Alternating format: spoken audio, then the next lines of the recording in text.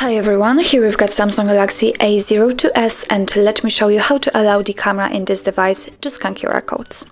So first of all we have to enter the camera app and now simply tap on the settings icon in the left upper corner. And as you can see, actually on the fourth position, we've got scan QR codes option, which is right now turned off. If you want to turn it on, just tap on the switcher right here. Let's get back to the camera.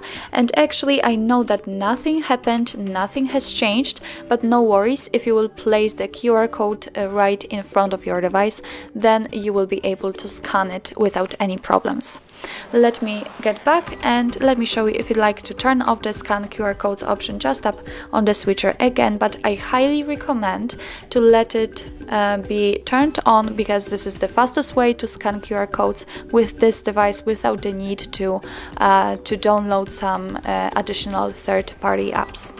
So actually that's all. This is how to allow uh, your device to scan QR codes in your Samsung Galaxy A02s.